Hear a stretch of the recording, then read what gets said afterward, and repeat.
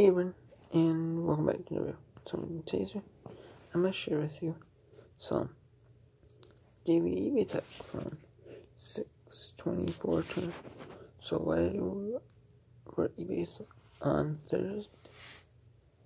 Well, I went to post office for my Wednesday items. Wednesday, so Tuesday night and Wednesday morning.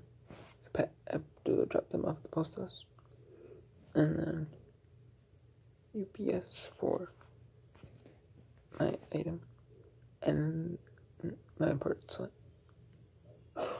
And then what I did was I did some listing. And then I sold a Yamaha ATV rim again in the afternoon and then I went back and did a little more listing. And then that was about it. So damn uh, put a little tiny bit of gas, a little tiny bit of oil, just to see if it um runs. And start it see if it runs. Before I list those parts or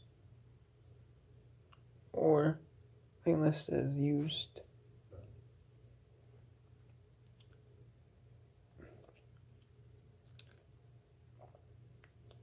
So, we'll see on that.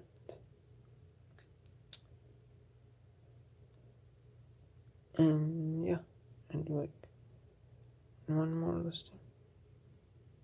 That engine. And then there's another flywheel list. Same as the flywheel we got online. There's two. And then three will be the um. yeah, I got three listings to to.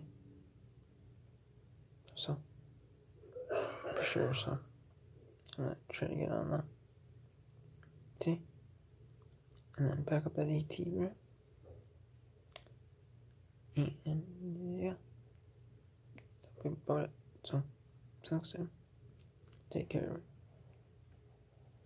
and get some work done and uh, get those three listings done.